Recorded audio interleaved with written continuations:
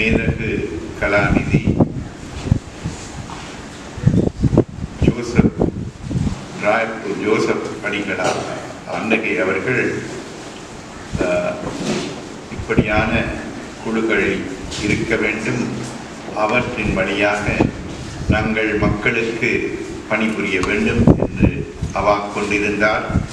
ஆகையினால் அவர் இதற்காக ஆற்றிய பணிகளை அறிவியப்பட்டோருக்காக நீங்கள் உங்களால் இயன்றதை செய்து வருகின்றீர்கள்.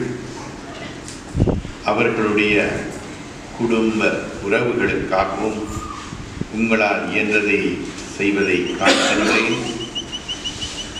அது காணாமல் ஆக்கப்பட்டோர் குடும்பங்களின் எத்தனையோ பேருடைய கண்ணீர் மத்தியில் அவர்களுடைய கலக்கத்தின் மத்தியில் அவர்களுடைய பாடுகள் மத்தியில் அந்த அனுபவத்தில் வாழுகின்றார்கள் பிரிவில் வாழுகின்றார்கள்.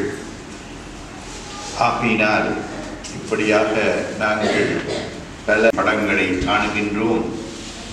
ஒரு பரிதாபமான நிலை என்று காணுகின்றேன்.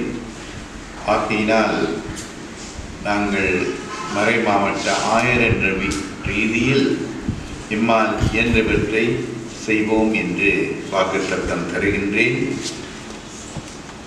இவ்வளவு காலமும் நீங்கள் தேடி திரிந்தாலும் நீங்கள் பல வகையான முயற்சிகள் எடுத்தாலும் இன்னும் உங்களுக்கு இவர்களை கண்டுபிடிக்க இயலாமையை கண்டு மனம் வருந்துகின்றேன்.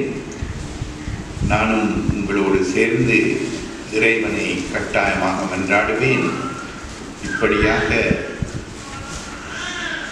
கயவர்களினால் உங்களிலிருந்து பறித்து கொண்டு சென்ற இந்த உறவுகள் இந்த உயிர்கள் உங்களுக்கு மேலும் கிடைக்க வேண்டும் என்று நான் பிரார்த்திக்கின்றேன்.